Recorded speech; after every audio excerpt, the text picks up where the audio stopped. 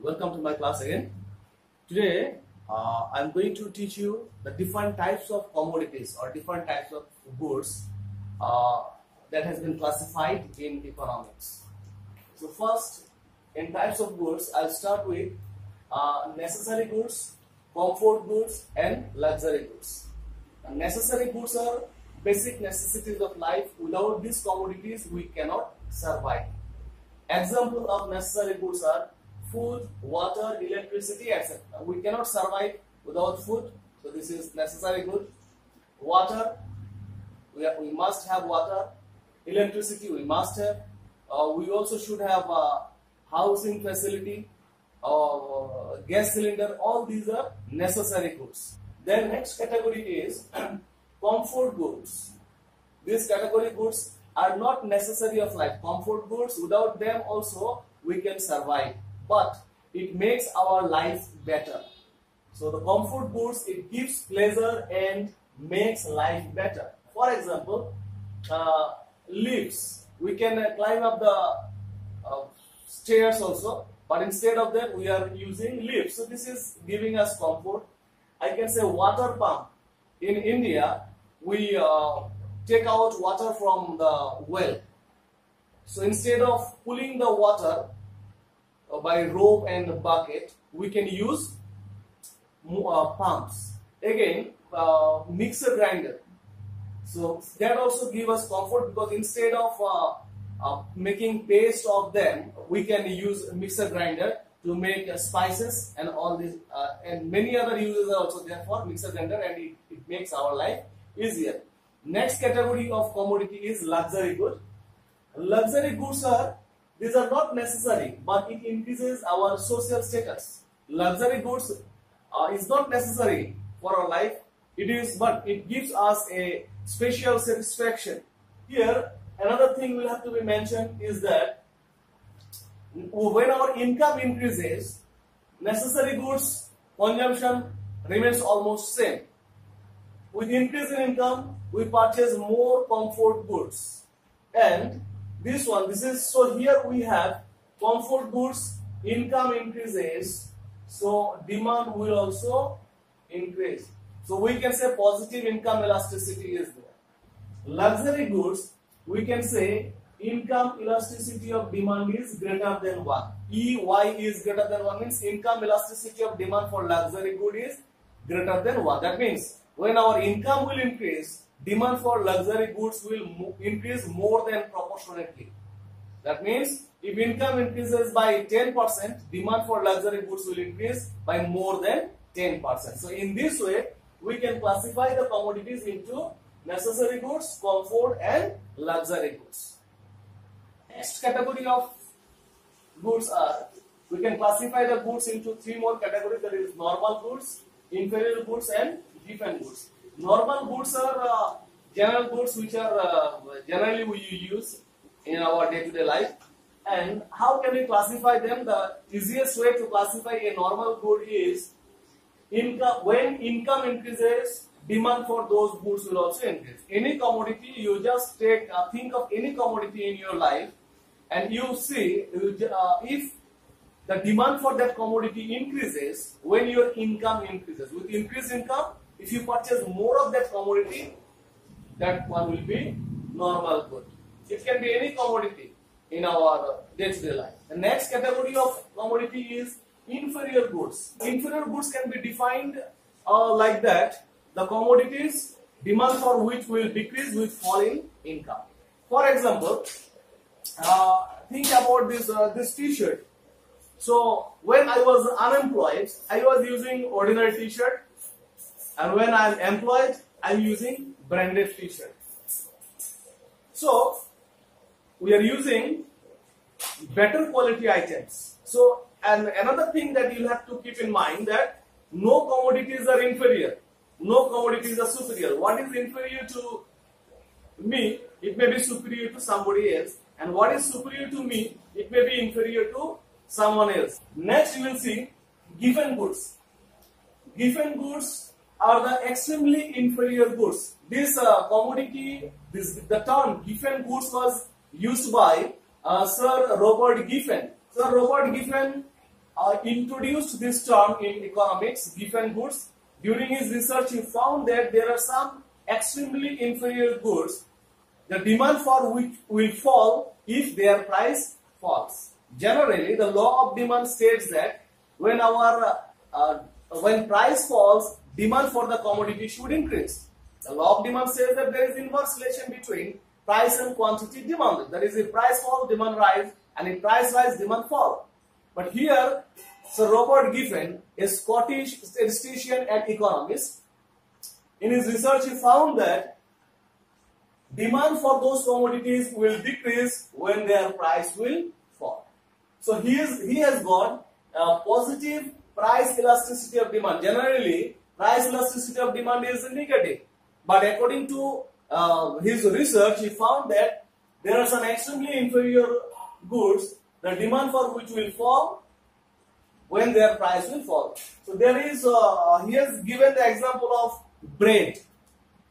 Now I can give example in our town that there is one haunted house in the area. So people are not staying in that house. The house owner is lowering the rent and when he is lowering the rent, the people are uh, thinking that why he is lowering the rent because it is a haunted house. So demand is also going down. So lower the price, lower will be the demand. Uh, goods may also be classified into substitute goods and complementary goods. The definition is very easy. First, I'll explain substitute goods. Substitute goods are those goods which can be used in place of each other with same comfort. The example of substitute goods are tea and coffee. We can uh, give example of substitute goods like uh, samosa and uh, kachori. We can give example of uh, substitute goods like uh, Pepsi and Coca-Cola or Reynolds pen or Mitsubishi pen. So these are substitute goods or uh, Hero bike or Honda bike. So all these are substitutes of each other. We can use them with same comfort. Next category of commodities are complementary goods. Complementary goods are those goods which must be used jointly. We cannot use the commodity separately. Both the goods must be used together. These are complementary goods. An example is car and petrol or uh, you can say car and diesel, whichever is applicable. So we cannot use the car without petrol. We, or we cannot use the petrol without a car or uh, bike or scooty or scooty or petrol or whatever we are using there. The commodities are of two types, substitute goods and complementary goods. I call them complementary goods are made for each other. That means they must be used together. They are always together. And uh, this one, substitute goods, uh, dushman. That is, if tea comes, coffee cannot come. Or if coffee is ordered, tea will not be ordered. So they are rival, having rivalry between them. And these are having friend, friendly relation between them. Both of them are coming together, appearing together. We demand both of them together. But here, when we demand tea, we don't demand coffee. And if we demand coffee, we do not demand for tea. So this is the classification of two more types of goods that is uh, substitute goods and complementary goods. There may be another classification of goods that is intermediate goods and final goods. Final goods are those commodities that has come out of production boundary. That means their production process is 100% complete. Production is done and now they are ready for you ready to use for consumption or for investment. And uh, intermediate goods, on the other hand, they are yet to come out of the production boundary. Intermediate goods, their production process is not completed. Suppose production process is completed by 50% or 70%, even if it is by 90% also, then it is not final good, it will remain as intermediate good. That is, it has not come out of production boundary. Production boundary is an imaginary line uh, that, that shows whether the commodity has its production has completed or not. The production process is completed or not. If the production process is still going on, it is intermediate good. And once it has become the production process is uh, completed, it will become final good. Here, another uh, you see uh, difference between this final final good and intermediate good. Another one is uh, no value addition is needed. and here intermediate good value addition can be done. Now first definition, this is the definition actually meaning of final good and intermediate good. When you will be asked what is the meaning of final good, you will write there final good has come out of production boundary. Those commodities that has come out of production boundary are called final goods and the commodities that are yet to come out of production boundary are intermediate goods. That is the definition. Now the difference, eh, you will write the meaning, in difference you will write the meaning also and in addition you have to write in final goods no value addition is required or needed. That value addition means uh, to add values in them. So, uh, for example, we have purchased sugar cane of rupees uh, 1 lakh rupees and converted into sugar and sold them it at 5, 5 lakh rupees. So value addition of 4 lakh rupees is there. So like that, if final good is there, no more value addition is required. On the other hand, intermediate goods, these are value addition is required. For example, just now I have said that uh, I have purchased sugar cane of 1 lakh rupees, converted them into sugar and sold it in the market at rupees 5 lakh. So I have made a value addition of 4 lakh rupees because I my intermediate cost was 1 lakh rupees and my the value of my final good is 5 lakhs. So the difference is of 4 lakhs. So I have added a value of 4 lakh rupees. So in final good, no value addition is required and in intermediate goods, value addition can be done. And another last one is in calculation of national income, only the final goods are included. So it is included in national income. Only final goods are included in national income and intermediate goods are not included in national income. If we include intermediate goods in national income, then we will commit the mistake of double counting. There is another category of goods that is uh, consumer goods and capital goods. So first I'll explain what is uh, uh, consumer goods. So consumer goods are either purchased or self-produced to satisfy human wants. Consumer goods are, we are using it to satisfy our wants. So this is called consumer good. For example, I have given uh, food items, chocolates, biscuits, ice creams, all these are consumer goods because we are producing, uh, we, are, we are purchasing it from the market and we are using it for our own satisfaction. So this is consumer good. On the other hand, capital goods are it can be defined as produce means of production. In simple words, capital goods refer to those goods, those man-made goods which are being used for further production. Then it becomes capital goods. Example of capital goods are machines, tools, etc. And all capital goods must be man-made goods. But doesn't mean all man-made goods are capital goods, but all capital goods must be man-made goods and capital goods cannot be a natural good. Uh, capital goods can broadly be, uh, can be classified into two categories. There is durable capital goods and single-use capital goods, which are also called raw materials. Now, durable capital goods are those fixed assets used by a firm to produce goods and services. And uh, single-use capital goods are the raw materials used in uh, production uh, purpose. For example, in a cement factory, the machine which is used for production of cement, the buildings, and the infrastructure is coming under durable capital goods and the raw materials, the chemicals and uh, limestone that they are using will come under single use capital good or this is also called raw materials for the factory. Again, uh, if we take the example of sugar factory, the machine will be capital good, the building will be capital good, fixed assets and the raw materials, that is sugar cane and other require requirements will be considered as the single use capital good. In in simple words, they are called raw materials. Similarly, uh, consumer goods can also be classified into three categories that is durable consumer goods, semi-durable consumer good and single-use consumer goods. Now how to classify them? Durable consumer goods can be used repeatedly for longer period of time. Semi-durable capital go uh, consumer goods can be used for a short shorter duration. We can still use it. And uh, single-use consumer goods can be used only once. In terms of duration, we can say that the commodities which can be used for more than one year are durable consumer good and the commodities which can be used for less than one year will be considered as semi-durable consumer goods. This one, this is a marker pen, this is also coming under semi-durable consumer goods. Then single-use consumer goods. This is the food items that we are consuming every day.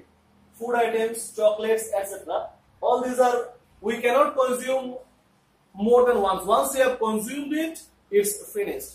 Same commodity we cannot consume twice. Now we will get two more categories of goods. That is uh, public goods and private goods. How can we classify public goods and private goods? As the name indicates, public goods are uh, supplied by public authorities, that is government. And public goods are generally seen, public goods are generally provided by the government. And how can we understand something is public goods? Generally, we are getting these goods free of cost, generally. And these two principles are applicable, non-rivalry and non-excludability. These two principles are applicable for public goods. So, non-rivalry means when the commodities are supplied and there are so many consumers but none of the consumers are rivals of each other. Example, the road that we are using and the street light that we are enjoying, this is non-rivalry. We are not competing for using the road with each other. And non-excludability, that means if I am using the service it does not exclude anyone from or it does not prevent anyone from using that same services. I am also using the road, you are also using the road. I am enjoying the street light, you are also enjoying the street light. I am enjoying the services of defense and police, you are also enjoying the services of defense and police. So this principle that is non-rivalry and non-excludability. That means if I am enjoying this one, I cannot exclude you or if you are enjoying that one, you cannot exclude me. On the other hand, private goods here you see, these are generally purchased or self-produced by private entities, whether it is private individual or private companies or private firms, whoever it may be, either purchasing or self-producing. Now here, the important thing is that private goods will have to, it's having a price, you will have to pay a price for that. Now here rivalry and excludability. Suppose in the market uh, some special commodities are there, selected items, 10 units are there. So everyone will rush into the market and will try to purchase that one. So the people who will reach first or who is having more money will purchase the commodity. So the rivals.